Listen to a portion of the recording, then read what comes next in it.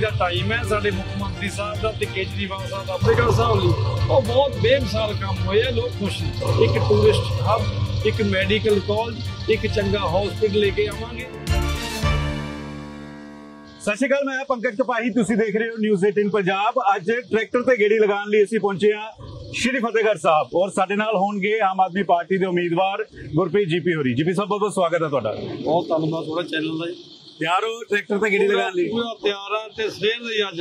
8 ਵਜੇ ਤੋਂ ਪਿੰਡਾਂ 'ਚ ਜੀ ਰੌਣ ਲਾ ਰਹੇ ਆ। ਤੇ ਬਹੁਤ ਵਧੀਆ ਰਿਸਪੌਂਸ ਅਖੀਰਲੀ ਵਾਰ ਟਰੈਕਟਰ ਤੇ ਕਦੋਂ ਬੈਠੇ ਸੀਗੇ? ਆਪਣੇ ਟਰੈਕਟਰ ਦੇ ਉੱਤੇ। ਆਪਣੇ ਟਰੈਕਟਰ ਤੇ ਬੈਠੇ ਨੂੰ ਹੋ ਗਏ 2 2.5 ਸਾਲ। ਹਾਂ। ਤੇ ਮੈਂ, ਅਹ, ਛੋਟੇ ਹੁੰਦੇ ਨਾ ਹਾਂ। ਅਹ, ਮੈਂ ਨਾ ਜਦੋਂ ਖੇਤੀ ਕਰਦੇ ਮੇਰੇ ਮੇਰੇ ਭਰਾ ਖੇਤੀ ਕਰਦੇ ਮੇਰੇ ਬ੍ਰਦਰ ਕਰਦੇ ਦੋਨੋਂ ਖੇਤੀ। ਜਦੋਂ ਮੈਂ ਛੋਟਾ ਹੁੰਦਾ ਸੀ ਮੈਂ ਖੇਤਾਂ ਜਾ ਕੇ ਉਹਨਾਂ ਨੂੰ ਡੌਲਾਂ ਤੇ ਬਹਿ ਕੇ ਅਸੀਂ ਬ੍ਰੇਕਫਾਸਟ ਕਰਦੇ ਸੀ ਜਦੋਂ ਕਣਕ ਬੀਜਣੀ ਜਾਂ ਕਦੇ ਝੋਨਾ ਲਾਉਣਾ। ਤੇ ਉਦੋਂ ਦਾ ਹੀ ਅਸੀਂ ਮੈਨੂੰ ਬੜਾ ਇੰਟਰਸਟ ਵੀ ਸੀ ਖੇਤੀ 'ਚ। ਤੁਹਾਡੇ ਕੋਲ ਜ਼ਮੀਨ ਹੈ? ਖੁਦ ਖੇਤੀ ਕਰਦੇ ਹੋ? ਜ਼ਮੀਨ ਜ਼ਮੀਨ ਸਾਡੇ ਕੋਲ ਕਿੰਨੀ ਹੈਗੀ ਜ਼ਮੀਨ ਹੈ? ਜ਼ਮੀਨ ਸਾਡੇ ਕੋਲ ਹੈਗੀ 1.5 ਕਿੱਲਾ। ਡੇਢ ਛੋਟੇ ਕਿਸਾਨ ਹੋ ਫਿਰ ਛੋਟੇ ਕਿਸਾਨ 1.5 ਕਿੱਲਾ ਜ਼ਮੀਨ ਹੈ। ਪਹਿਲਾਂ ਜਾ ਝੋਨਾ ਤੇ ਹੀ ਲਾਉਂਦੇ ਪਹਿਲਾਂ ਸਾਡੀ ਹੈਗੀ ਸੀ ਜ਼ਮੀਨ ਉਹ ਵੇਚ ਵੇਚਦੀ ਮੈਂ ਆਪਦੇ ਕਿੱਲੇ ਵੀ ਚਾਰ ਪੰਜ ਸੀਗੇ ਪਹਿਲਾਂ। ਮੈਂ ਉਹ ਵੇਚਤੇ ਸੀ ਪਹਿਲਾਂ ਇਲੈਕਸ਼ਨ ਉਲੈਕਸ਼ਨ ਲੱਗ ਛੋਟੇ ਕਿਸਾਨ ਜਿਹੜੇ ਝੋਨਾ ਕਣਕ ਹੀ ਲਗਾ ਰਹੇ ਹੋ ਜਾਂ ਤੁਸੀਂ ਬਾਕੀ ਪਾਸੇ ਵੀ ਧਿਆਨ ਦੇ ਰਹੇ ਹੋ? ਐਕਚੁਅਲੀ ਹੁਣ ਤਾਂ ਠੇਕੇ ਦਿੱਤੀ ਹੋਈ ਹੈ ਕਿਉਂਕਿ। ਧਿਆਨ ਨਹੀਂ ਦਿੱਤਾ ਜਾਂਦਾ ਪਰ ਅਸੀਂ ਛੋਟੇ ਹੁੰਦੇ ਖੇਤੀ ਕਰਦੇ। ਕਿੰਨਾ ਕੁ ਠੇਕਾ ਆ ਜਾਂਦਾ? ਡੇਢ ਕਿੱਲਾ ਦਾ। ਠੇਕੇ ਦਾ ਹੁਣ ਸਾਡੇ ਦਾ ਘੱਟ ਹੈ ਠੇਕਾ ਜਾਂ 60000 ਰੁਪਇਆ ਆ ਜਾਂਦਾ ਚਲੋ ਗੇੜੀ ਕਲਾਨੇ ਆ ਤੁਹਾਡੇ ਨਾਲ ਵਿਧਾਇਕ ਸਾਹਿਬ ਵੀ ਨੇ। ਤੁਸੀਂ ਟਰੈਕਟਰ ਤੇ ਅੱਜ ਤੁਹਾਡੇ ਜਿਹੜੇ ਸਾਰਥੀ ਨੇ, ਉਹ ਵਿਧਾਇਕ ਸਾਹਿਬ ਨੇ, ਔਰ ਮੈਂ ਦੇਖਿਆ ਇਲੈਕਸ਼ਨ 'ਚ ਵੀ ਕਈ ਆਮ ਆਦਮੀ ਪਾਰਟੀ ਦੇ ਵਿਧਾਇਕ ਤੁਹਾਡੇ ਸਾਰਥੀ ਬਣੇ ਹੋਏ ਕੈਂਪੇਨ ਪੂਰੀ ਸੰਭਾਲ ਰਹੇ ਨੇ। ਹਾਂਜੀ, ਬਹੁਤ ਵਧੀਆ ਲੱਗ ਰਿਹਾ, ਕਿਉਂਕਿ ਸਾਡੇ ਰਾਏ ਸਾਹਿਬ ਇਹ ਤੋਂ ਪਹਿਲਾਂ ਬਹੁਤ ਵਧੀਆ ਵੋਟ ਨਾਲ ਜਿੱਤੇ ਸੀ ਇੱਥੇ। ਅੱਜ ਪਿੰਡਾਂ ਜਾ ਕੇ ਅਸੀਂ ਟਰੈਕਟਰ ਦੇ ਵੀ ਚੜ ਰਹੇ ਹਾਂ ਤੇ ਲੋਕਾਂ ਨਾਲ ਮਿਲ ਵੀ ਰਹੇ ਹਾਂ, ਕਿਉਂਕਿ ਇਹਨਾਂ ਨੇ 2 ਸਾਲ ਦੇ ਵਿੱਚ ਜੋ ਸਾਡੇ ਐਮਐਲਏ ਸਾਹਿਬ ਨਾਲ ਕੰਮ ਕੀਤੇ, ਸਾਡੇ ਮੁੱਖ ਮੰਤਰੀ ਸਾਹਿਬ ਨਾਲ ਕੰਮ ਕੀਤੇ ਆ ਉਹ ਵਾਕਈ ਬੜੇ ਸ਼ਲਾਘਾਯੋਗ ਹੈ। ਉਹ ਚੇਚੇ ਤੌਰ ਤੇ ਸਾਡੇ ਜ਼ਿਲ੍ਹਾ ਪ੍ਰਧਾਨ ਪਲਾਨਿੰਗ ਬੋਰਡ ਦੇ ਚੇਅਰਮੈਨ ਅਜੇ ਲਿਬਡਲ ਸਾਹਿਬ ਵੀ ਸਾਡੇ ਨਾਲ ਨੇ। ਬਾਕੀ ਸਮੁੱਚੀ ਟੀਮ ਆਜੱਲਾ ਸਾਹਿਬ ਨੇ ਸਾਡੇ ਭਰਾ ਲੋਕ ਪ੍ਰੈਜ਼ੀਡੈਂਟ ਇੱਥੋਂ ਦੇ, ਜੋ ਇਹ ਪਿੰਡਾਂ ਨਾਲ ਸੰਬੰਧ ਰੱਖਦੇ ਆ, ਉਹ ਵੀ ਸਾਰੇ ਨਾਲ ਨੇ। ਕਿਉਂਕਿ ਅੱਜ ਆ ਸੱਤਵਾਂ ਪਿੰਡ ਜਾ ਰਹੇ ਸਵੇਰ ਦਾ। ਸੱਤ ਪਿੰਡ ਕਵਰ ਕਰ ਲਏ, ਅੱਠਵਾਂ ਪਿੰਡ ਜਾ ਰਹੇ ਤੇ ਹਰ ਪਾਸੇ ਵਧੀਆ ਰਿਸਪੌਂਸ ਆਮ ਆਦਮੀ ਪਾਰਟੀ 'ਚ ਆ ਕੇ ਕਾਂਗਰਸ ਤੋਂ ਕੀ ਫ਼ਰਕ ਕੀ ਤੁਹਾਨੂੰ ਨਜ਼ਰ ਆਇਆ? ਡਿਸਪਲਿਨ ਵਾਈਜ਼ ਜਾਂ ਵੈਸੇ ਕਿਉਂਕਿ ਵਿਧਾਇਕ ਅਮੂਮਨ ਟਰੈਕਟਰ ਨਾਲ ਚੱਲਦੇ ਨਹੀਂ ਖਾਨਾ ਪੂਰਤੀ ਕਰਦੇ ਲੇਕਿਨ ਇਹ ਪੂਰਾ ਨਾਲ ਸਾਥ ਲਾ ਰਹੇ ਨਹੀਂ ਨਹੀਂ ਜੀ ਵੈਸੇ ਤਾਂ ਨੌ ਹਲਕਿਆਂ 'ਚ ਸਾਰੇ ਐਮਐਲਏ ਸਾਹਿਬ ਬਹੁਤ ਵਧੀਆ ਕੰਮ ਕਰਦੇ ਆ। ਪਰ ਇਸ ਪਾਰਟੀ 'ਚ ਆ ਕੇ ਮੈਨੂੰ ਲੱਗਿਆ ਆਪਣਾ ਘਰ ਆਪਣੇ ਘਰ ਵਾਂਗੂ ਬਹੁਤ ਵਧੀਆ ਮਾਹੌਲ ਲੱਗ ਰਿਹਾ। ਜਿਵੇਂ ਕਾਂਗਰਸ ਪਾਰਟੀ 'ਚ ਕਦੇ ਵੀ ਇਦਾਂ ਦਾ ਮਾਹੌਲ ਲੱਗਿਆ ਅੱਜ ਸਾਡੇ ਭਰਾ ਉਹ ਆਪਣੇ ਉਚੇਚੇ ਤੌਰ ਤੇ ਕਮੇਨ ਕਰਦੇ ਨੇ ਟੀਮ ਕਮੇਨ ਕਰਦੇ ਸਾਡੇ ਜ਼ਿਲ੍ਹਾ ਪ੍ਰਧਾਨ ਕਮੇਨ ਕਰਦੇ ਜਿੰਨੇ ਵੀ ਸਾਡੇ ਬਲਾਕ ਪ੍ਰੈਜ਼ੀਡੈਂਟ ਆ ਦੂਜੇ ਸਾਰੇ ਉਹ ਬਹੁਤ ਜ਼ਿਆਦਾ ਸਵੇਰ ਦੇ ਕਮੇਨ ਕਰਦੇ। ਕਾਂਗਰਸ ਤੁਸੀਂ ਚੰਨੀ ਹੋਰਾਂ ਤੋਂ ਬੇਹੱਦ ਖਫਾ ਹੋ ਗਏ ਸੀ ਨਾਰਾਜ਼ ਹੋ ਗਏ ਸੀ।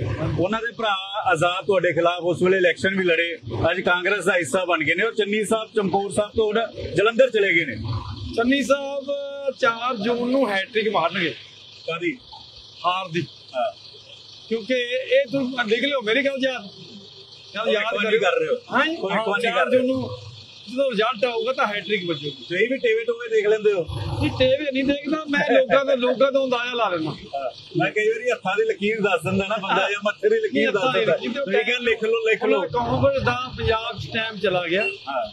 ਤੇ ਹੁਣ ਅੱਜ ਆਮ ਆਦਮੀ ਪਾਰਟੀ ਦਾ ਟਾਈਮ ਹੈ। ਸਾਡੇ ਮੁੱਖ ਮੰਤਰੀ ਸਾਹਿਬ ਦਾ ਤੇ ਕੇਜਰੀਵਾਲ ਸਾਹਿਬ ਦਾ ਪੂਰੇ ਜਿਵੇਂ ਦਿੱਲੀ 'ਚ ਸਰਕਾਰ ਹੈ ਪੰਜਾਬ ਸਰਕਾਰ ਹੈ। ਸਾਨੂੰ ਆਉਣ ਵਾਲੇ ਪੂਰੇ ਟਾਈਮ ਜਿਹੜੀ ਆਸ ਹੈ ਸਾਡੀ ਜਿਹੜੀ ਭਾਈਵਾਲ ਹੈ ਜਿੰਨੀਆਂ ਪਾਰਟੀਆਂ ਅਸੀਂ ਚੋਣ ਲੜ ਰਹੇ ਹਾਂ ਸਾਨੂੰ ਪੂਰੀ ਆਸ ਹੈ 350 ਦੇ ਕਰੀਬ ਅਸੀਂ ਆਪਣੀਆਂ ਸੀਟਾਂ ਤੋਂ ਜਿੱਤਾਂਗੇ ਤੇ ਸਾਡੀ ਸਰਕਾਰ ਬਣੂਗੀ। ਕਾਂਗਰਸ ਦੀਆਂ ਕਿੰਨੀਆਂ ਸੀਟਾਂ ਪੰਜਾਬ 'ਚ ਤੁਹਾਨੂੰ ਨਜ਼ਰ ਆਉਂਦੀਆਂ?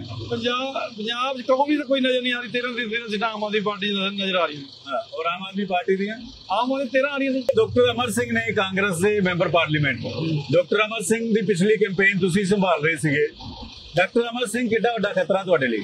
ਐਕਚੁਅਲੀ ਮੇਰੇ ਲਈ ਕੋਈ ਖਤਰਾ ਨਹੀਂ। ਜੋ ਸਮ ਜੋ ਕੰਮ ਮੈਂ ਪਹਿਲਾਂ ਕੀਤੇ, ਆਪਣੇ ਹਲਕੇ 'ਚ ਵੀ ਕੀਤੇ, ਜੋ ਸਾਡੀ ਸਰਕਾਰ ਨੇ ਕੀਤੇ, ਆਪਣੇ ਭਗਵੰਤ ਮਾਨ ਜੋ ਤੁਹਾਡੇ ਲਗਰਾਏ ਸਾਹਿਬ ਨੇ ਕੀਤੇ ਆ, ਇਹ ਫਤਿਹਗੜ੍ਹ ਸਾਹਿਬ ਲਈ, ਉਹ ਬਹੁਤ ਬੇਮਿਸਾਲ ਕੰਮ ਹੋਏ ਆ, ਲੋਕ ਖੁਸ਼ ਨੇ, ਇਹ ਗੱਲ। ਇਸ ਏਰੀਏ 'ਚ ਧਰਮਿੰਦਰ ਹੋਰਾਂ ਦਾ ਪਿੰਡ ਵੀ ਆਂਦਾ ਹੈ ਸਾਨੇਵਾਲ ਅੱਜ ਪਿੰਡ ਪਹਿਲਾਂ ਮੈਂ ਗਿਆ ਜਾ ਕੇ ਪਿੰਡ ਸਾਨੇਵਾਲ ਦੀ ਕੀ ਪੋਜੀਸ਼ਨ ਹੈ ਧਰਮਿੰਦਰ ਹੋਰਾਂ ਦਾ ਕ੍ਰੇਜ਼ ਹੈ ਅੱਜ ਵੀ ਸਾਨੇਵਾਲ ਦੇ ਵਿੱਚ? ਸਾਨੇ ਆਪ ਧਰਮਿੰਦਰ ਜੀ ਨੂੰ ਬਹੁਤ ਘੱਟ ਆਉਂਦੇ ਆ। ਕਿਉਂਕਿ ਪ੍ਰਕਾਸ਼ ਕੌਰ ਦਾ ਪਿੰਡ ਵੀ ਆਪਣੇ ਹਲਕੇ 'ਚ ਹੀ ਜਿਹੜੀ ਪ੍ਰਕਾਸ਼ ਕੌਰ ਧਰਮਿੰਦਰ ਦੀ ਵਾਈਫ ਉਹਦਾ ਪਿੰਡ ਵੀ ਪ੍ਰਕਾਸ਼ ਕੌਰ ਉਹਨਾਂ ਵੀ ਆਪਣੇ ਹਲਕੇ 'ਚ ਹੀ। ਤੇ ਉਹਨਾਂ ਦੇ ਪਿੰਡ 'ਚ ਵੀ ਬਹੁਤ ਵਧੀਆ ਜਿੱਤਾਂ ਨੇ। ਕਿਉਂਕਿ ਸੰਨੀ ਦਿਓਲ ਦਾ ਮੈਂ ਇਸ ਕਰਕੇ ਜਾਂ ਧਰਮਿੰਦਰ ਹੋਰਾਂ ਦਾ ਇਸ ਕਰਕੇ ਜ਼ਿਕਰ ਕਰ ਰਿਹਾ ਸੀ। ਸੰਨੀ ਦਿਓਲ ਪਿਛਲੀ ਵਾਰ ਗੁਰਦਾਸਪੁਰ ਲੜੇ ਸੀਗੇ। ਉਦੋਂ ਨਲਕੇ ਦਾ ਵੀ ਜ਼ਿਕਰ ਹੁੰਦਾ ਸੀ ਤਾਰੀਖ ਤੇ ਤਾਰੀਖ ਡਾਇਲੌਗ ਦਾ ਵੀ ਜ਼ਿਕਰ ਹੁੰਦਾ ਸੀ। ਤੁਸੀਂ ਵੀ ਸਾਹਨੇ ਵੱਲ ਜਾ ਕੇ ਕੋਈ ਡਾਇਲੌਗ ਮਾਰਦੇ ਹੋ ਜਾਂ ਤਾਰੀਖ ਤੇ ਤਾਰੀਖ ਜਾਂ ਕੋਈ ਨਲਕੇ ਦਾ ਜ਼ਿਕਰ ਕਰਦੇ ਹੋ? ਕੀ ਹੈ ਜਿਹੜਾ ਉਹਨਾਂ ਦਾ ਜਿਹੜੇ ਜਿਹੜੇ ਐਕਟਰ ਨੇ ਹਾਂ। ਜਿਹੜੇ ਐਕਟਰ ਨੇ ਉਹਨਾਂ ਦਾ ਜਿਹੜਾ ਕੰਮ ਕਰਨ ਦਾ ਤਰੀਕਾ ਡਿਫਰੈਂਟ ਹੁੰਦਾ। ਹਾਂ। ਉਹ ਆਉਂਦੇ 20 25 ਦਿਨ ਕੈਂਪੇਨ ਲਈ ਆਉਂਦੇ ਆ ਤੇ ਕੈਂਪੇਨ ਤੋਂ ਬਾਅਦ 5 ਸਾਲ ਉਹ ਹਲਕੇ 'ਚ ਆਉਂਦੇ ਨਹੀਂ। ਲੋਕਾਂ ਨੂੰ ਇਹ ਉਮੀਦ ਹੁੰਦੀ ਵੀ ਜਿਹੜੇ ਸਾਡੇ 'ਚ ਲੋਕ ਰਹਿੰਦੇ ਆ ਜਿਹੜਾ ਸਾਡਾ ਕੰਮ ਕਰਦਾ ਉਹੀ ਬੰਦਾ ਜਿੱਤਣਾ ਚਾਹੀਦਾ ਤਾਂ ਕਿ ਅਸੀਂ 5 ਸਾਲ ਉਹਨੂੰ ਫੜ ਸਕੀਏ।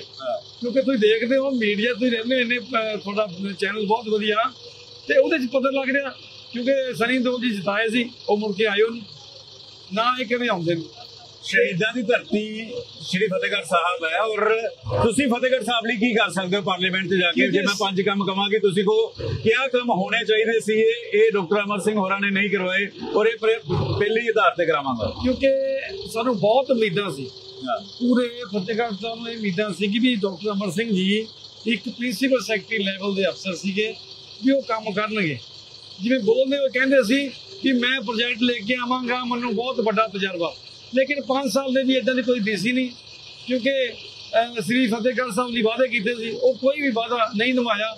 ਮੈਂ ਇਹ ਗੱਲ ਕਰਾਂਗਾ, ਸ੍ਰੀ ਫਤਿਹਗੜ੍ਹ ਸਾਹਿਬ ਬੜੀ ਇਤਿਹਾਸਿਕ ਧਰਤੀ ਹੈ, ਜਿੱਥੇ ਮਾਤਾ ਗੁਜਰ ਕੌਰ ਦੇ ਬਾਬਾ ਜਰਾਵਰ ਸਿੰਘ ਦੇ ਬਾਬਾ ਫਤਿਹ ਸਿੰਘ ਦਾ ਇਤਿਹਾਸ ਹੈ, ਤੇ ਆਉਣ ਵਾਲੇ ਟਾਈਮ ਸ੍ਰੀ ਫਤਿਹਗੜ੍ਹ ਸਾਹਿਬ ਇੱਕ ਹੈਰੀਟੇਜ ਸਿਟੀ ਇੱਕ ਟੂਰਿਸਟ ਹੱਬ ਇੱਕ ਮੈਡੀਕਲ ਕਾਲਜ ਇੱਕ ਚੰਗਾ ਹਸਪੀਟਲ ਲੈ ਕੇ ਆਵਾਂਗੇ, ਤਾਂ ਕਿ ਜਿਹੜੇ ਸਾਡੇ ਸਾਡੇ ਭਰਾ ਨੇ ਜਾਂ ਸਾਡੇ ਜਿਹੜੇ ਵਾਸੀ ਨੇ ਫਤਿਹਗੜ੍ਹ ਸਾਹਿਬ ਦੇ ਉਸ ਚੀਜ਼ ਦਾ ਆਉਣ ਵਾਲੇ ਟਾਈਮ ਜਿਵੇਂ ਸ਼ਹਾਦਤ ਵਾਲੀ ਧਰਤੀ ਉਹ ਚੀਜ਼ਾਂ ਨੂੰ ਯਾਦ ਕਰੇ।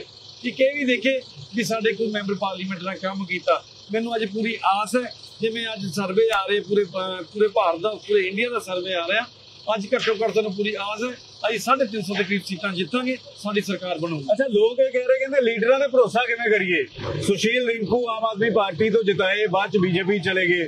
ਕੈਪਟਨ ਅਮਰਿੰਦਰ ਸਿੰਘ ਬੀਜੇਪੀ ਚਲੇ ਗਏ ਸੁਨੀਲ ਜਾਖੜ ਬੀਜੇਪੀ ਚਲੇ ਗਏ। ਕਹਿੰਦੇ ਕਿਵੇਂ ਭਰੋਸਾ ਜ਼ਾਹਰ ਕਰੀਏ ਕਿ 5 ਸਾਲ ਇਸੇ ਪਾਰਟੀ ਚ ਰਹਿਣਗੇ? ਮੈਂ ਦੱਸਦਾ ਜਿੱਦੇ ਲੋਕਾਂ ਦੀ ਮੈਂ ਕੰਮ ਕੀਤੇ ਜਿਵੇਂ ਮੈਂ ਕੰਮ ਕੀਤੇ ਆਪਣੀ ਪਰਫਾਰਮੈਂਸ ਪਿਛਲੀ ਮੈਂਬਰ ਮੈਂ ਆਪਣਾ ਮੈਂ ਐਮਐਲਏ ਸੀਗਾ ਆਪਣੀ ਪਰਫਾਰਮੈਂਸ ਪੂਰਾ ਵਧੀਆ ਕੀਤਾ।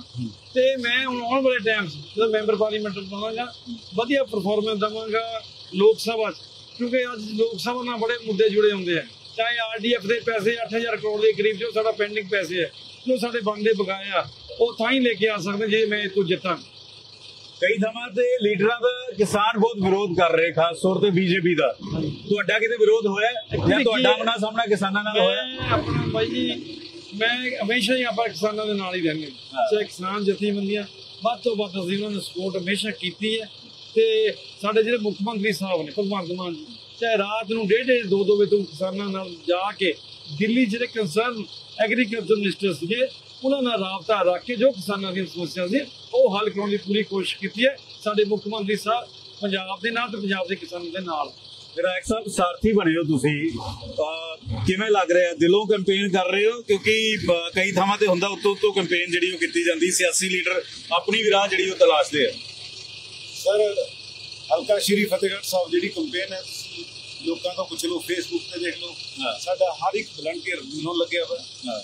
ਸਾਡੇ ਸੁਪਰੀਮ ਅਰਵਿੰਦ ਕੇਜਰੀਵਾਲ ਸਾਡਾ ਮੁਖੀ ਸਰਦਾਰ ਭਗਵੰਤ ਸਿੰਘ ਮਾਨ ਸਾਹਿਬ ਉਹਨਾਂ ਦੀ ਗਾਈਡਲਾਈਨ ਤੇ ਅਸੀਂ ਜਿਹੜੀ ਹਲਕਾ ਸ਼੍ਰੀ ਫਤਿਹਗੜ੍ਹ ਸਿੰਘ ਸਾਹਿਬ ਦੀ ਸੀਟ ਹੈ ਔਰ ਵਿਧਾਨ ਸਭਾ ਹਲਕਾ ਸ਼੍ਰੀ ਫਤਿਹਗੜ੍ਹ ਬਹੁਤ ਵਧੀਆ ਲੀਡ ਲੈ ਕੇ ਦਵਾਂਗੇ ਕੁਲਜੀਤ ਨਾਗਰਾ ਹੋਰੀ ਇੱਥੇ ਕਾਫੀ ਕੈਂਪੇਨਿੰਗ ਕਰ ਰਹੇ ਕਿੰਨਾ ਵੱਡਾ ਥ੍ਰੈਟ ਨੇ ਸਰ 4 ਤਰੀਕ ਨੂੰ ਉਰੇ ਆ ਜਾਣਾ ਸਰ ਕੋਈ। ਥ੍ਰੈਟ ਨਹੀਂ ਹੈਗਾ।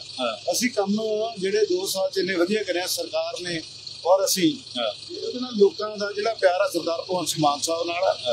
ਆਮ ਆਦਮੀ ਪਾਰਟੀ ਦੇ ਲੋਕ ਵਿਸ਼ਵਾਸ ਕਰਦੇ ਜਿਹੜੀਆਂ ਗਰੰਟੀਆਂ ਨੇ ਲੋਕ ਸਾਢੇ ਚਾਰ ਸਾਲ ਬਾਅਦ ਪਾਰਟੀਆਂ ਪੂਰੀਆਂ ਕਰਦੇ ਸੀ ਪਹਿਲੇ 2 ਸਾਲ ਦੇ ਵਿੱਚ ਬਹੁਤ ਗਰੰਟੀਆਂ ਪੂਰੀਆਂ ਹੋ ਗਈਆਂ ਇੱਕ ਦੋ ਛੱਡ ਕੇ ਉਹ ਵੀ ਪੂਰੀਆਂ ਕਰਾਂਗੇ ਸਾਰਥੀ ਬਣੇ ਹੋਏ ਹੋ ਤੁਸੀਂ ਬਿਲਕੁਲ ਬਿਲਕੁਲ ਇਹ ਹੈ। ਸਾਰਥੀ ਟਰੈਕਟਰ ਤੇ ਬਣੇ ਹੋ ਜਾਂ ਸਾਰਥੀ ਓਵਰਆਲ ਇਲੈਕਸ਼ਨ ਦੀ ਵੀ ਬਣੇ ਹੋ ਦੇਖੋ ਸਾਰਥੀ ਐਮਐਲਏ ਨਹੀਂ ਆ ਨਾਲ ਦੇ ਫਿਰਦੇ ਦੇਖੋ ਵਲੰਟੀਅਰ ਸਾਹਿਬਾਨ ਹਾਂ। ਸਾਰੇ ਅਸੀਂ ਇਕੱਠੇ ਹੋ ਕੇ ਸਾਡੇ ਜਿਹੜੇ ਕੈਂਡੀਡੇਟ ਹਾਈ ਕਮਾਂਡ ਤੇ ਜੀਪੀ ਸਾਹਿਬ ਕਿਉਂਕਿ ਸਾਡੀ ਰਿਕਮੈਂਡੇਸ਼ਨ ਸੀ ਜੀਪੀ ਸਾਹਿਬ ਨੇ 6 ਮਹੀਨੇ ਪਹਿਲੇ ਹੀ ਅਸੀਂ ਕਹਿਤਾ ਸੀ ਕਿ ਸਾਡੀ ਸੋਚ ਦੇ ਜਿਹੜੇ ਕੈਂਡੀਡੇਟ ਜੀਪੀ ਸਾਹਿਬਾਂ ਨੂੰ ਪਾਰਟੀ 'ਚ ਲਿਆ ਕੇ ਉਹਨੂੰ ਟਿਕਟ ਦੇ ਤੁਸੀਂ ਤੁਸੀਂ ਕਿਹਾ ਸੀ ਜੀਪੀ ਹੋਰਾਂ ਨੂੰ ਪਾਰਟੀ ਬਿਲਕੁਲ ਮੈਂ ਜੀਪੀ ਸਾਹਿਬ ਨੂੰ ਪੁੱਛ ਲਓ 6 ਮਹੀਨੇ ਦਾ ਮੇਰਾ ਪਹਿਲਾਂ ਕਹਿਣਾ ਸਾਹਿਬ ਨੇ ਕਿ ਬਈ ਤੁਸੀਂ ਪਾਰਟੀ ਜਾਓ ਇਹ। ਪਾਰਟੀ ਤੁਹਾਡੇ ਅਨੁਸਾਰ ਤੁਹਾਡੀ ਸੋਚ ਵਾਲੀ ਪਾਰਟੀ ਹੈ ਭਾਈ ਕਿਵੇਂ ਲੱਗਦਾ ਜਦੋਂ ਇਲੈਕਸ਼ਨ ਦਾ ਮੋਡ ਹੈ ਇੰਨਾ 45 ਡਿਗਰੀ ਟੈਂਪਰੇਚਰ ਚੱਲ ਰਿਹਾ ਹੈ ਔਰ ਇੱਕ ਉਮੀਦਵਾਰ ਦੇ ਲਈ ਵੋਟਾਂ ਮੰਗਣੀਆਂ ਉਸ ਲਈ ਪਤਾ ਨਹੀਂ ਹੁੰਦਾ ਕਿ ਆਪ ਆਪ ਨੂੰ ਕੁਝ ਮਿਲਣਾ ਜਾਂ ਨਹੀਂ ਮਿਲਣਾ।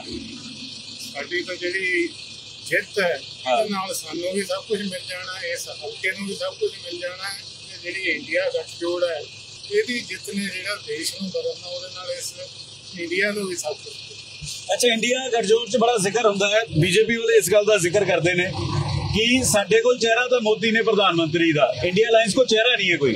ਇੰਡੀਅਨ ਵਿੱਚ ਬਹੁਤ ਚਿਹਰੇ ਨੇ ਹਾਂ। ਬੜੇ ਲੀਡਰ ਨੇ। ਚਾਹੇ ਹੁਣ ਅਖਿਲੇਸ਼ ਯਾਦਵ ਚੀਫ ਮਿਨਿਸਟਰ ਰਹੇ ਨੇ ਜਾਂ ਜਸਵੀਰ ਯਾਦਵ ਲਾਲੂ ਦਾ ਬੇਟਾ ਹੈ ਉਹ ਜਿਵੇਂ ਸਾਡੇ ਮਮਤਾ ਮਮਤਾ ਬੈਨਰਜੀ ਨੇ ਤਾਂ ਹੋਰ ਸਾਡੇ ਕੇਜਰੀਵਾਲ ਸਾਹਿਬ ਨੇ ਬਹੁਤ ਵੱਡੇ ਨਾਮ ਨੇ ਜਿਵੇਂ ਕੇਜਰੀਵਾਲ ਸਾਹਿਬ ਬੜੇ ਫੇਮਸ ਨੇ। ਜੀਪੀ ਵਾਲਾ ਦੀ ਪਸੰਦ ਕੌਣ ਹੈ? ਇੰਡੀਆ ਅਲਾਈਅੰਸ ਦੇ ਵਿੱਚ ਚਿਹਰੇ ਦੇ ਤੌਰ ਤੇ ਮੇਰੀ ਪ੍ਰਧਾਨ ਮੰਤਰੀ ਦੀ ਮੇਰੀ ਮੇਰੀ ਪਸੰਦ ਤਾਂ ਸਾਡੇ ਕੇਜਰੀਵਾਲ ਸਾਹਿਬ ਹੀ ਨੇ। ਹਾਂ। ਕਿਉਂਕਿ ਕਿਉਂਕਿ ਮੇਰੀ- ਪ੍ਰਧਾਨ ਮੰਤਰੀ ਉਹਨਾਂ ਨੂੰ ਬਣਨਾ ਚਾਹੀਦਾ। ਤੇ ਬਣਨਾ ਚਾਹੀਦਾ ਜਿਵੇਂ ਦਿੱਲੀ 'ਚ ਉਹਨਾਂ ਨੇ ਆਪਣਾ ਪਰਫਾਰਮ ਕੀਤਾ। ਹਾਂ। ਜੋ 10 ਸਾਲ ਦੇ ਵਿੱਚ ਉਹਨਾਂ ਦੀ ਪਰਫਾਰਮੈਂਸ ਰਹੀ ਹੈ ਹਾਂ। ਤਾਂ ਸਾਨੂੰ ਤਾਂ ਕੇਜਰੀਵਾਲ ਸਾਹਿਬ ਮੁੱਖ ਮੰਤਰੀ ਬਣਨੇ ਚਾਹੀਦੇ ਤਾਂ ਕਿ ਉਹ ਆਉਣ ਵਾਲੇ ਟਾਈਮ 'ਚ ਜਿਵੇਂ ਉਹਨਾਂ ਦਿੱਲੀ ਚਲਾਇਆ ਆਉਣ ਵਾਲੇ ਟਾਈਮ 'ਚ ਪੂਰਾ ਇੰਡੀਆ ਚਲਾਉਣਗੇ ਬੀਜੇਪੀ ਹੁਣ ਅਖੀਰਲੇ 7-8 ਦਿਨਾਂ ਦੇ ਵਿੱਚ ਨਰਿੰਦਰ ਮੋਦੀ ਤੋਂ ਲੈ ਕੇ ਅਮਿਤ ਸ਼ਾਹ ਅਮਿਤ ਸ਼ਾਹ ਤੋਂ ਲੈ ਕੇ ਉੱਤਰ ਪ੍ਰਦੇਸ਼ ਦੇ ਸੀਐਮ ਯੋਗੀ ਤੱਕ ਲੈ ਕੇ ਆਏ ਨੇ। ਕਿਸ ਤਰੀਕੇ ਨਾਲ ਦੇਖਦੇ ਹੋ? ਯੋਗੀ ਨੂੰ ਲੈ ਕੇ ਬਹੁਤ ਕ੍ਰੇਜ਼ ਹੈ ਬੀਜੇਪੀ ਦੇ ਉਮੀਦਵਾਰਾਂ 'ਚ। ਕਹਿੰਦੇ ਕਿ ਯੋਗੀ ਲੈ ਕੇ ਆਓ, ਜਿਵੇਂ ਉੱਥੇ ਕਾਨੂੰਨ ਵਿਵਸਥਾ ਠੀਕ ਕੀਤੀ ਹੈ। ਪੰਜਾਬ 'ਚ ਵੀ ਇੱਕ ਸੁਨੇਹਾ ਜਾਏਗਾ ਪੰਜਾਬ ਦੀ ਵੀ ਲੋ ਐਂਡ ਆਰਡਰ ਠੀਕ ਹੋਏਗਾ। ਐਕਚੁਅਲੀ ਪੰਜਾਬ 'ਚ ਲਾਅ ਐਂਡ ਆਰਡਰ ਬਹੁਤ ਵਧੀਆ ਚੱਲ ਰਿਹਾ ਕਿਉਂਕਿ ਇਸ ਦਾ ਬਹੁਤ ਜ਼ਿਆਦਾ ਵਿਗੜੀ ਹਾਲਾਤ ਸੀਗੇ। ਅੱਜ ਤੁਸੀਂ ਦੱਸੋ ਜਿਹੜੀਆਂ 20 21 ਚ ਮੌਤਾਂ ਹੋਈਆਂ ਵੀ ਨਸ਼ੇ ਨਾਲ 20 21 ਚ ਮੌਤਾਂ ਹੋਈਆਂ 6 6000 ਦੇ ਕਰੀਬ। ਜਿਹੜੀ 21 ਜਦੋਂ 21 22 ਚ ਹੋਈਆਂ ਉਹ ਘਟ ਕੇ 4000 ਦੇ ਕਰੀਬ ਰਹਿ ਗਈਆਂ। ਜਦੋਂ 23 22 23 ਹੋਇਆ ਤਾਂ ਉਹ ਚ ਹੋਰ ਰੇਸ਼ੋ ਘਟ ਗਈ। ਤੇ ਹੁਣ ਜਿਹੜੀਆਂ ਮੌਤਾਂ ਹੋਈਆਂ ਨੇ 23 ਤੇ 24 ਦੇ ਵਿੱਚ ਉਹ ਸਿਰਫ 5 5000 ਤੋਂ ਘਟ ਕੇ 984 ਰਹਿ ਗਈਆਂ। ਕਿਉਂਕਿ ਨਸ਼ੇ ਤੇ ਠੱਲ ਪਈ ਤਾਂ ਹੀ ਮੌਤਾਂ ਜਿਹੜੀਆਂ ਨਸ਼ੇ ਨਾਲ ਹੋਈਆਂ ਘੱਟ ਹੋਈਆਂ ਨੇ। ਤੇ ਇਹ ਜਿਹੜੀ ਗਵਰਨਮੈਂਟ ਹੈ ਸਾਡੇ ਮੁੱਖ ਮੰਤਰੀ ਭਗਵੰਤ ਮਾਨ ਜੀ ਕੇਜਰੀਵਾਲ ਸਾਹਿਬ ਇਹ ਪੰਜਾਬ ਲਈ ਸਹੀ ਮੈਨੇ ਕੰਮ ਕਰ ਰਹੇ ਆ ਤਾਂ ਹੀ ਇਹ ਜਿਹੜੀ ਮੌਤਾਂ ਘੱਟ ਹੋਈਆਂ ਨੇ ਤੇ ਨਸ਼ਾ ਵੀ ਆਉਣ ਵਾਲੇ ਟਾਈਮ ਬਹੁਤ ਘੱਟ ਜੂਗਾ। ਦੋ ਸਾਲਾਂ ਦੇ ਕੰਮਾਂ ਤੇ ਤੁਸੀਂ ਵੋਟ ਮੰਗ ਰਹੇ ਹੋ। ਦੋ ਸਾਲ ਦੇ ਕੰਮ ਜਿਹੜਾ ਕਿਸਾਨਾਂ ਨੂੰ ਪਾਣੀਆਂ ਨਹੀਂ ਸਾਰੀ ਉਮਰ ਮਿਲਿਆ। ਜਿਹਨਾਂ ਨੂੰ ਬਿਜਲੀ ਨਹੀਂ ਮਿਲੀ ਜਿਨ੍ਹਾਂ ਦੇ ਜਿਹੜੇ ਜ਼ਿਮੀਂਦਾਰ ਭਰਾ ਸੀ ਜਾਂ ਐਸੀ ਭਰਾ ਸੀ ਜਾਂ ਸਾਡੇ ਦੂਜੇ ਖੱਤਰੀ ਭਰਾ ਸੀ ਕੋਈ ਜਾਂ ਪੰਡਤ ਭਰਾ ਨੇ ਜਾਂ ਕੋਈ ਰਾਜਪੂਤ ਭਰਾ ਨੇ ਜਾਂ ਸਾਰੀਆਂ ਜਾਤਾਂ ਪੰਜਾਬ ਦੀਆਂ ਸਾਰੀਆਂ ਜਾਤਾਂ ਨੂੰ ਜਿਹੜਾ ਇਹ ਹੈ ਬਿਲ ਜ਼ੀਰੋ ਆਇਆ ਜਿਹੜੇ ਵਿਚਾਰੇ ਨੌਕਰ ਬੰਦੇ ਆ ਜਿਹਨਾਂ ਦੀ ਜ਼ਮੀਨ 1 ਕਿੱਲਾ ਸੀ ਜਾਂ ਕਿਤੇ ਅੱਧਾ ਕਿੱਲਾ ਜ਼ਮੀਨ ਸੀ ਜਾਂ ਹਿੰਦੂ ਸਾਡੇ ਭਰਾ ਸੀ ਜਿਹਨੂੰ ਕਮਾਈ ਦੇ ਸਾਧਨ ਨਹੀਂ ਸੀ, ਉਹਨਾਂ ਨੂੰ ਜਿਹੜਾ ਬੈਨੀਫਿਟ ਸਾਡੇ ਮੁੱਖ ਮੰਤਰੀ ਸਾਹਿਬ ਨੇ ਦਿੱਤਾ, ਸਾਡੀ ਆਮ ਆਦਮੀ ਪਾਰਟੀ ਨੂੰ ਦਿੱਤਾ, ਉਹ ਇਸ ਗੱਲ ਤੋਂ ਬਹੁਤ ਜ਼ਿਆਦਾ ਖੁਸ਼ ਨੇ।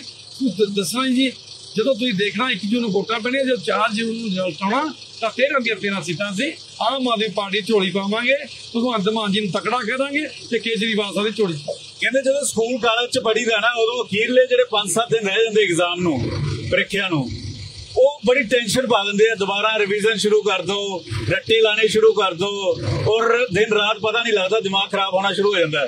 ਤੁਹਾਡੇ ਵੀ ਰਿਵੀਜ਼ਨ ਦਾ ਟਾਈਮ ਚੱਲ ਰਿਹਾ ਕਿਸ ਤਰੀਕੇ ਦੀ ਹਾਲਤ ਹੈ ਅੱਜ ਭਾਜੀ ਗੱਲ ਇਹ ਹੈ ਬਾਹਰ 63 ਦਿਨ ਦਾ ਜਿਹੜਾ ਪ੍ਰੋਸੈਸ ਹੋ ਗਿਆ ਸਾਡਾ ਕੰਪੇਨ ਦਾ। ਤੇ ਬਾਹਰ 63 ਦਿਨ ਚ ਜਿਹੜੀ ਸਾਡੀ ਆਪਣਾ ਕੰਪੇਨ ਹੈ ਉਹ ਇੱਕ ਦਿਨ ਵੀ ਢਿੱਲੀ ਨਹੀਂ ਪਈ।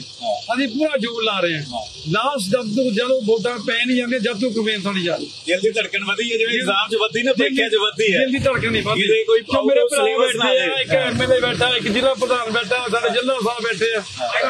ਪ੍ਰਧਾਨ ਪ੍ਰਧਾਨ ਹੋਮਗਾਰਡ ਦੇ ਪੰਜਾਬ ਬੈਠੇ ਨੇ। ਹਾਂ। ਤੇ ਉਹ ਬੈਠੇ ਨੇ।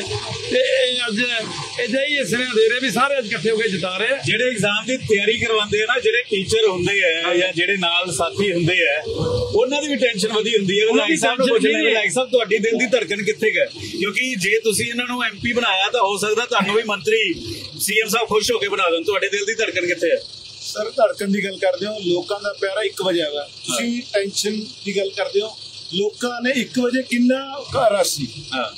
ਪਿਆਰ ਦੇ ਰਹੇ ਲੋਕ ਜਿੱਥੇ ਪਿਆਰ ਦਿੰਦੇ ਨੇ ਆਪਣਾ ਮਤ ਹੈ। ਔਰ ਸਾਨੂੰ ਉਮੀਦ ਹੈ ਕਿ ਅਸੀਂ ਆਪਣੇ ਕੰਮਾਂ ਤੇ ਵੋਟ ਮੰਗ ਰਹੇ ਹਾਂ ਪਿਆਰ 500 ਮਿਲ ਰਿਹਾ। ਟੈਨਸ਼ਨ ਦੀ ਲੋੜ ਨਹੀਂ। 500 ਲੋਕਾਂ ਦਾ ਪਤਾ ਨਹੀਂ ਹੁੰਦਾ ਅੱਜ ਕੱਲ ਕਿੱਧਰ ਨੂੰ ਚਲੇ ਜਾਣ ਦੁਪਹਿਰ ਦੇ 1 ਵਜੇ ਲੋਕ 200 400 ਪਿੰਡ ਪਿੰਡ ਇਕੱਠਾ ਹੋ ਰਹੇ ਆ। ਉਹ ਉਹ ਲੋਕ ਨਹੀਂ ਹੈਗੇ ਕਿ ਜਿਹੜੇ ਟੈਨਸ਼ਨ ਦੇਣ।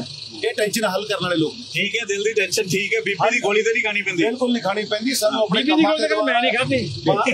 ਮੈਂ ਨਹੀਂ ਬੀਬੀ ਦੀ ਗੋਲੀ। ਅਸੀਂ ਮਾਨ ਸਾਹਿਬ ਦੀ ਅਗਵਾਈ ਤੇ ਦੁਆਰਾ ਸਾਡੇ ਵਲੰਟੀਅਰਾਂ ਦੇ ਕੰਮ ਕੀਤੇ ਉਹਨਾਂ ਦੇ ਦੁਆਰਾ ਇੰਨੀ ਗਰਮੀ 'ਚ ਕਿੰਨਾ ਮੁਸ਼ਕਲ ਹੁੰਦਾ ਪ੍ਰਚਾਰ ਕਰਨਾ ਜਦੋਂ 45 ਡਿਗਰੀ ਪਾਰਾ ਹੋਵੇ? ਜਦੋਂ ਸਾਨੂੰ ਰਿਸਪੌਂਸ ਮਿਲਦਾ ਨਾ ਤਾਂ ਗਰਮੀ ਕੀ ਸੇ 55 ਡਿਗਰੀ ਟੈਂਪਰੇਚਰ ਹੋ ਜਾਏ ਅਸੀਂ ਇਹ ਗੱਲੋਂ ਘਬਰਾਉਂਦੇ ਨਹੀਂ ਕਿਉਂਕਿ ਜਦੋਂ ਰਿਸਪੌਂਸ ਵਧੀਆ ਮਿਲਦਾ ਸਾਡੇ ਮੁੱਖ ਮੰਤਰੀ ਸਾਹਿਬ ਲੋਕੀ ਪਿਆਰ ਕਰਦੇ ਆ ਤਾਂ ਸਾਨੂੰ ਕੋਈ ਟੈਂਪਰੇਚਰ ਨਜ਼ਰ ਹੀ ਨਹੀਂ ਆ ਰਿਹਾ। ਨਾ ਸਾਨੂੰ ਗਰਮੀ ਲੱਗ ਰਹੀ ਹੈ ਜਦੋਂ ਲੋਕੀ ਹਾਰ ਪਾਉਂਦੇ ਆ ਨਾ ਸਾਨੂੰ ਗਰਮੀ ਨਹੀਂ ਮਹਿਸੂਸ ਹੁੰਦੀ। ਮੁਕਾਬਲਾ ਇਸ ਵਾਰ ਕਿਸ ਦੇ ਨਾਲ ਲੱਗਦਾ ਹੈ? ਬੀਜੇਪੀ ਨਾਲ ਅਕਾਲੀ ਦਲ ਨਾਲ ਜਿਹੜਾ- ਤੁਹਾਨੂੰ ਕਾਂਗਰਸ ਨਾਲ ਲੱਗ ਰਿਹਾ ਕਿਸ ਦਿਨ ਫਾਈਟ ਕਿਸ ਦੇ ਨਾਲ? ਉਹ ਤਿੰਨੇ ਪਾਰਟੀਆਂ ਆਪਸ ਲੜਨਗੀਆਂ। ਸਾਡਾ ਤਾਂ ਮਾਰਜਨ ਬਹੁਤ ਵੱਡਾ ਹੋਊ। ਅੱਛਾ ਮੈਂ ਇੱਕ ਚੀਜ਼ ਦੇਖੀ ਆ ਦੇਖੋ। ਕਿਵੇਂ ਕੂੜੇ ਦੇ ਢੇਰ ਪਲਾਸਟਿਕ ਕਿਸੇ ਵੀ ਪਿੰਡ ਚਲੇ ਜਾਓ ਇਹ ਪਲਾਸਟਿਕ ਸਭ ਤੋਂ ਵੱਡੀ ਸਮੱਸਿਆ ਹੈ। ਛੱਪੜ ਪਲਾਸਟਿਕ ਨਾਲ ਭਰੇ ਪਏ ਨੇ। ਇਹ ਬਹੁਤ ਵੱਡਾ ਚੈਲੰਜ ਹੈ। ਬਿਲਕੁਲ ਤੁਹਾਡੀ ਗੱਲ ਸਹੀ ਹੈ।